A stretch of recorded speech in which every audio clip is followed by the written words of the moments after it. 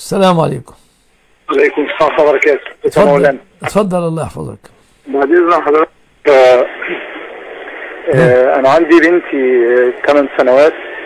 آه، ينفع إن آه، أنا باخدها معايا المسجد يعني. فينفع إن هي تقف جنب الصف؟ لا لا تدخلها المسجد.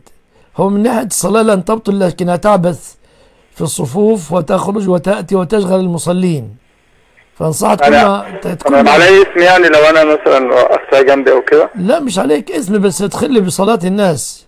الأفضل يعني. الرسول عليه الصلاة والسلام آه، كان يحمل الأمم دلوقتي بالصلاة حضرتك حضرتك بالنسبة لل- للأطفال في في يا المسجد أخي أكمل كلامي الله يغفر لك. سيبني أكمل إيه. كلامي.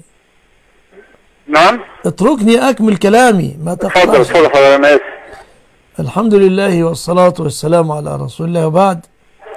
عن دخول الصبيان المسجد الصغار لا بأس بذلك ما لم يحدثه فوضى ولا فتنة. وذلك لأن الحسن والحسين دخلا والنبي صلى الله عليه وسلم يخطب الجمعة فنزل واحتضنهما. أيضا لأن النبي كان يحمل أمامه في الصلاة لكن هذا ليس بصريح في أن ذلك في المسجد. أيضا لأن عمرو بن سلمة كان يؤم الناس وهو ابن ست سنين لكونه كان أقرأ. فدخول صبيان المسجد لا بأس به. وأيضا قال عليه الصلاة والسلام إني أدخل الصلاة أريد إطالتها فأسمع بكاء الصبي فأخفف من شدة وجد أمي عليه. كلها أدلة على دخول الصبيان المسجد لكن حيث لا فوضى لأن الله قال قد أفلح المؤمنون الذين هم في صلاتهم خاشعون فإذا كان الطفل يفقدنا الخشوع الطفل يفقدنا الخشوع ويعبث. أو واحد جايب بنته المتبرجة أو اللبسة فوق الركبة صغيرة معه تشغل أنظار المصلين.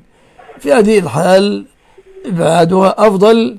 حفاظا على قوله تعالى قد أفلح المؤمنون الذين هم في صلاتهم خاشعون. فإذا كان الأطفال يأتون أيضا يضرب بعضهم بعضا. ويصرخون في المسجد ويفسدون على الناس صلاتهم. أيضا إما أن يكون معهم من يؤدبهم أو يستقروا في بيوتهم إلى أن يؤدبوا. أما الفوضى بهذه الطريقة التي تحدث في بعض المساجد طبعا ستفسد على المصلين خشوعهم. هذا قد ورد في الباب حديث لكن في سنده ضعف. لفظه جنبوا مساجدكم صبيانكم ومجانينكم. إلا أنه غير ثابت عن رسول الله صلى الله عليه وسلم. والله أعلم. طب يا مولانا لو ال- البنت يعني يعني بتقعد في المسجد هي فاهمة و كم عمرها يا أخي؟ كم عمرها؟ 8 سنين. لا تمنيها كبيرة مش صغيرة. مع أمها. خلاها مع أمها عند النساء. تمام.